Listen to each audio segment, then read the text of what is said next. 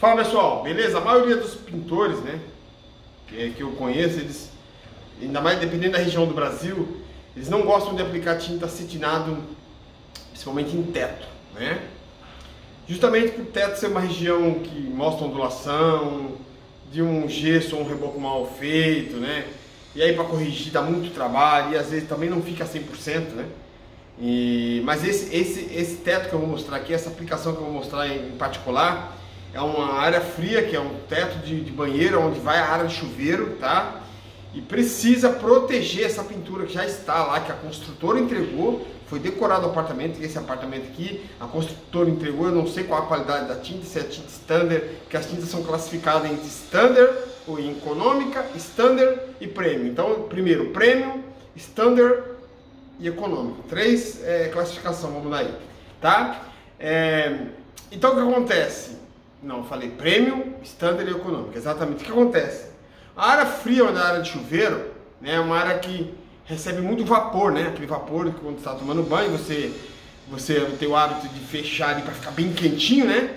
E aí a gente olha as paredes ficam escorrendo, o vidro embaça, o espelho embaça. E aí o que acontece? Todo aquele vapor, todo aquele vapor, ele ó, vai pro teto. Aquilo ali propaga um mofo.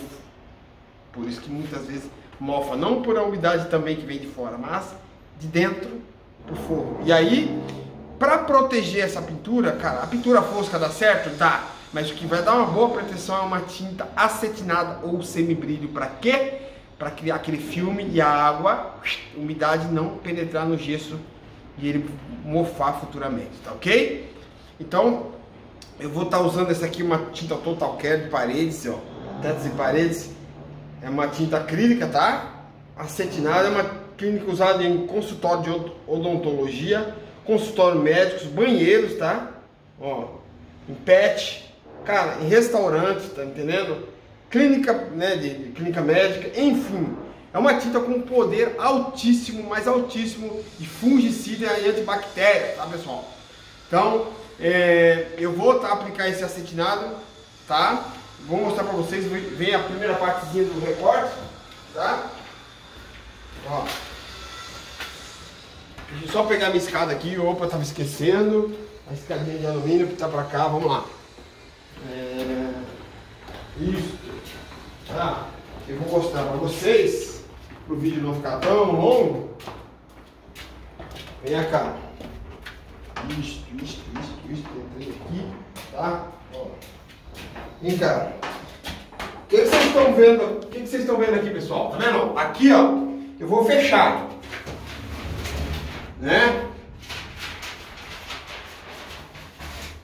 Fechei aqui. Você imagina isso aqui tudo fechado, numa época de frio, aqui é litoral, estamos a 100 metros da praia, o vapor do chuveiro, isso, esse forro está é, tá pintado de fosco. O que acontece? O fosco, a umidade toda que fica escorrendo aqui, ela vai penetrar para dentro da placa de gesso e vai ficar, com o tempo ela vai proliferar o mofo, fungo, né? E aí vai ficar aquela coisa feia, aqueles pontos verdes, esverdeados, aqueles pontos pretos. Então o que eu fiz aqui, ó? Já preparei esse cantinho, tá? Tô aqui, ó, com o pincelzinho na mão tá? Fazendo toda a preparação para eu vir enroletando, tá?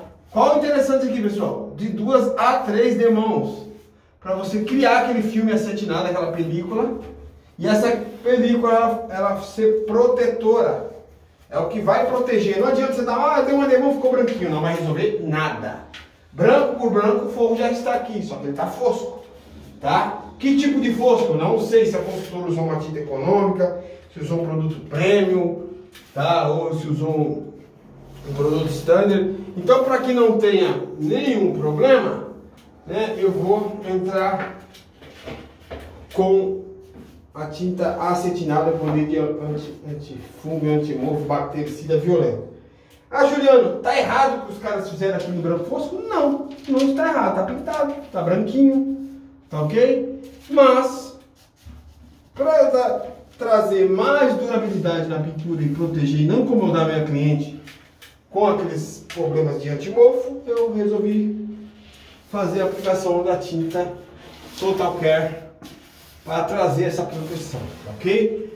Agora voltando no início da conversa, ah, os pintores não gostam de trabalhar com tinta acetinada, realmente, se você não tiver um, uma parede bem emassada, bem aplicado o produto, a massa corrida bem lixada, a chance de mostrar ondulação é muito grande, ok? Mas muito, mas muito grande mesmo. Então por isso que a maioria foge. Foge de aplicar tintas acetinadas. Eu vou lá buscar a caçamba e já volto. Foi. E agora eu já estou com o meu rolinho, tá? Peguei a bandejinha por ser pouco forro. Eu quero ser uma, um pouquinho pequeno, não tem necessidade de usar uma, uma caçamba grande. Eu vou na minha bandejinha aqui.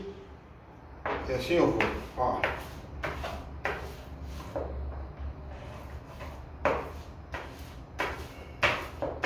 Ok?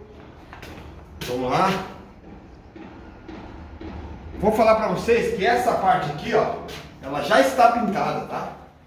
Essa parte aqui já está pintada no, no acetinado. Eu só não fiz realmente a parte do box para dentro, né? E a parte que vai ficar mais vulnerável com a com o vapor do chuveiro. Aí ela vem aqui na manhã, ó, vem cá. Ó. Vou Ó. Vou espalhar ela aqui bem, tá? Ó.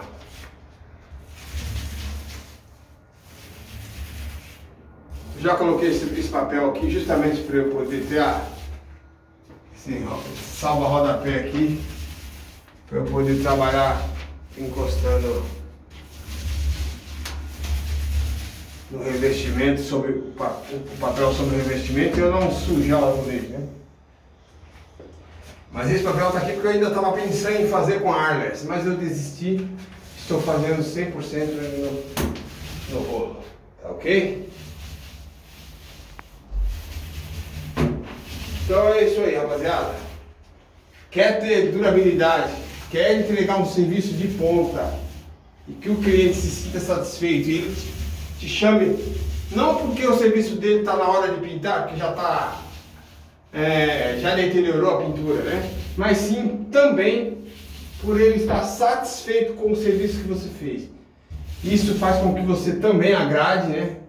O cliente, ele te chame para executar mais serviços para ele.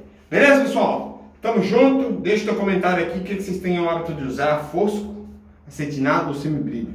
Beleza? Tamo junto, até o próximo vídeo.